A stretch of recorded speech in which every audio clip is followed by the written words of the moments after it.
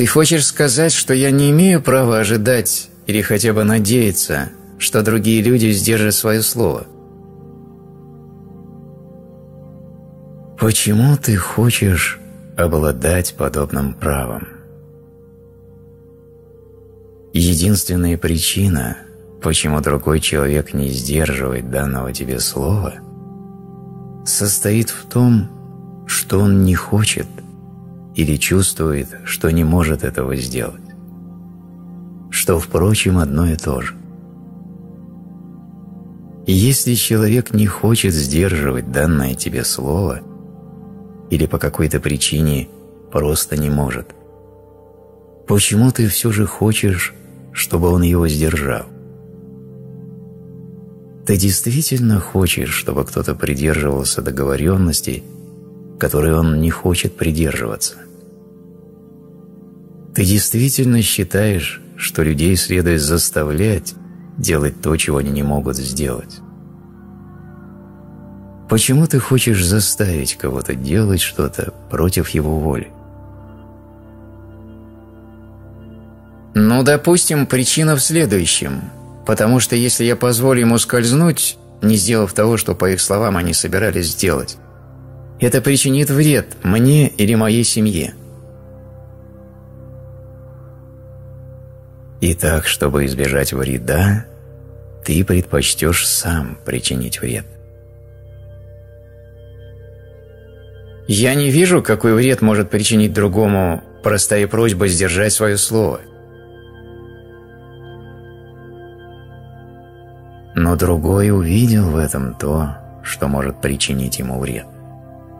Иначе он сдержал бы его добровольно. Значит, я должен страдать от причиненного мне вреда или смотреть, как страдают мои дети и моя семья, вместо того, чтобы навредить тому, кто дал мне обещание, просто попросив его сдержать это обещание. Ты действительно думаешь, что заставив другого сдержать обещание, ты избежишь вреда? Я говорю тебе, люди, делающие то, что, как им кажется, они вынуждены делать, приносят другим больший вред, чем те, кто свободно делает то, что хочет. Давая человеку свободу, ты устраняешь опасность, а не увеличиваешь ее. Да, если говорить о ближайшем времени, может показаться, что отпустив другого человека с крючка данного тебе обещания или взятого им обязательства, ты пострадаешь. Но это никогда не случится, если рассматривать более или менее длительный промежуток времени – потому что, давая свободу другому человеку, ты также даешь свободу себе.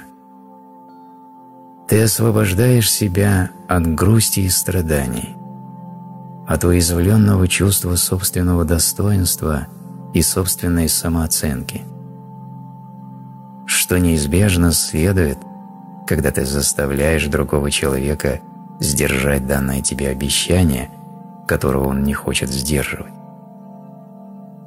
Вред, ощущаемый дольше, тяжелее вреда на короткое время. Это обнаруживает почти каждый, кто пытается заставить другого сдержать свое слово. И это справедливо и для бизнеса? Как мог бы существовать мир бизнеса, придерживаясь этого правила – На самом деле это единственный разумный способ ведения бизнеса.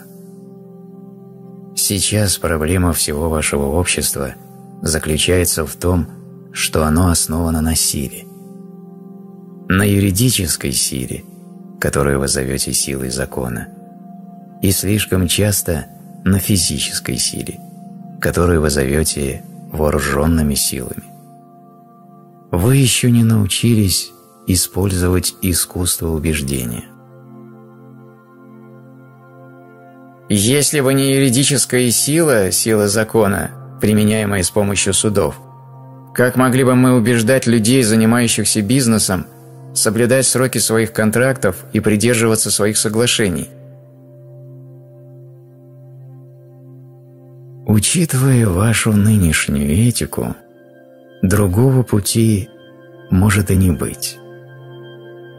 Но с изменением этики, способ, с помощью которого вы сейчас пытаетесь уберечь бизнес и людей от нарушения соглашений, покажется вам очень примитивным. Объясни, пожалуйста. Сейчас, чтобы гарантировать соблюдение соглашений, вы используете силу. Когда ваша этика изменится, включив понимание того, что все вы одно, вы никогда не станете применять силу, потому что этим вы только принесете вред своему «я». Вы не станете своей правой рукой наносить удары по левой. Даже если левая рука душит тебя – это другая вещь, которая тоже станет невозможной. Вы перестанете душить свое «я». Вы перестанете кусать себя за нос на зло своему лицу. Вы перестанете нарушать свои соглашения. И, конечно, сами ваши соглашения станут совсем другими. Отдавая что-то ценное другому человеку, вы больше не будете требовать что-то ценное взамен. Когда вы будете что-то давать или чем-то делиться, вас больше не будет останавливать отсутствие того, что вы называете непосредственным возвратом. Вы будете давать и делиться автоматически, и в результате значительно реже придется разрывать контракты потому что контракт связан с обменом вещами и услугами, тогда как ваша жизнь будет связана с дарением вещей и услуг, независимо от того, получите вы что-то взамен или нет. И в таком одностороннем дарении вы найдете свое спасение, потому что вы откроете для себя то, что испытывает Бог. То, что ты даешь другому, ты даешь своему «я». Что уходит наружу, снаружи приходит. Все, что исходит от тебя, к тебе возвращается. В семикратном размере. Так что нет необходимости беспокоиться о том, что ты собираешься получить обратно. Беспокоиться следует только о том, что ты собираешься отдать. Жизнь требует достижения самого высокого качества давания, а не самого высокого качества получения. Вы продолжаете это забывать.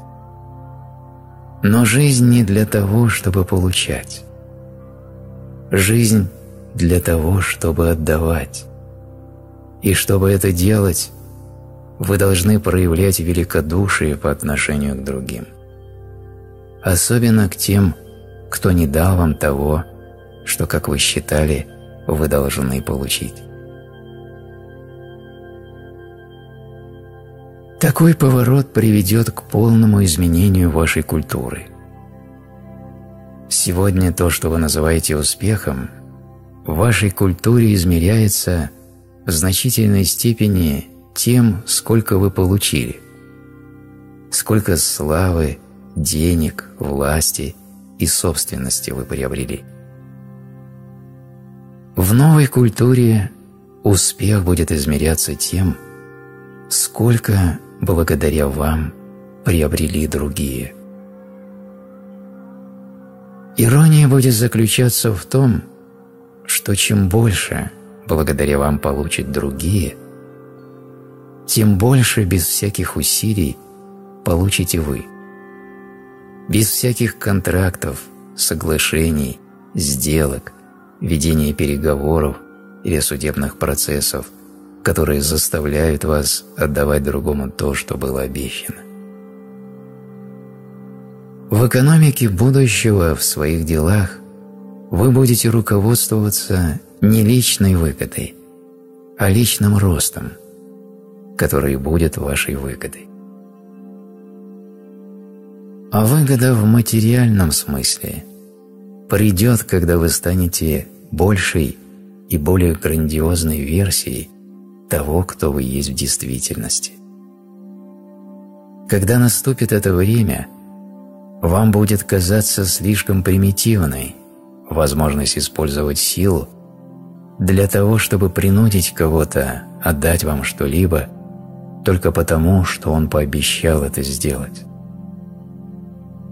Если другой человек не будет соблюдать договоренность, вы просто позволите ему идти своим путем, делать свой выбор и получать собственный опыт.